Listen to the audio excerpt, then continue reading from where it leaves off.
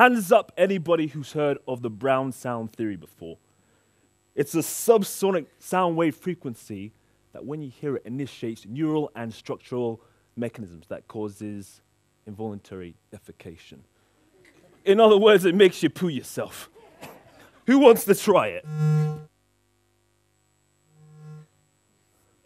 Some of you are looking pretty uncomfortable. I saw you. That's because that was pretty weird.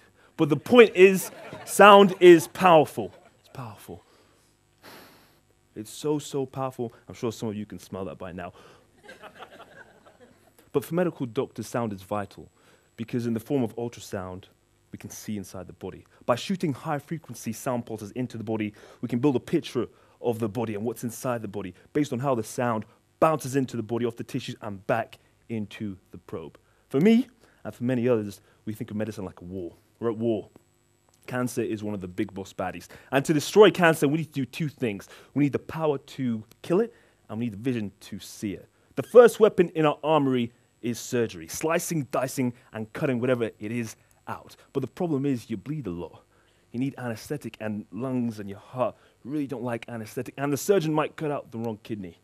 Believe me, it happens. The second weapon in our armory is chemotherapy. Pumping medication into the body to seek out and find those cancer cells and to trigger cell death. But the problem is, these medications are toxic. It's like sending a nuclear bomb into the body, into a city, but destroying a whole country instead and leaving damage forever. That's where sound comes into the equation. no, not like that. I'm talking about MRG FUS, magnetic resonance image guided focus ultrasound. No needles, no stitching, no knives, no anesthetic, no bleeding, just sound. Focus ultrasound is like using a magnifying glass to focus sunlight on a target to, to heat it up. It uses an acoustic lens to focus multiple beams of ultrasound on a target. Each beam of ultrasound has a little effect, but the point where they focus on that point it releases energy in the form of heat, and that destroys that tissue in a process called coagulative necrosis.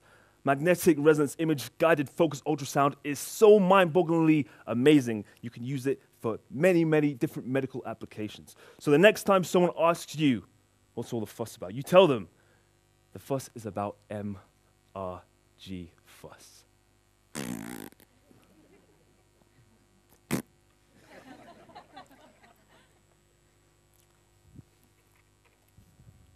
done.